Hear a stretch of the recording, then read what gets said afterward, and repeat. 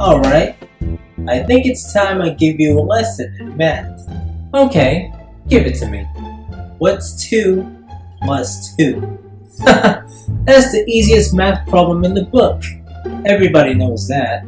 Well, go ahead and answer. That problem is so easy, you can never get it wrong. Answer already. Okay, okay. I know what 2 plus 2 is. Really? What is it? 2 plus is 4, minus 1, that's 3 quick maths. That's it. I'm done.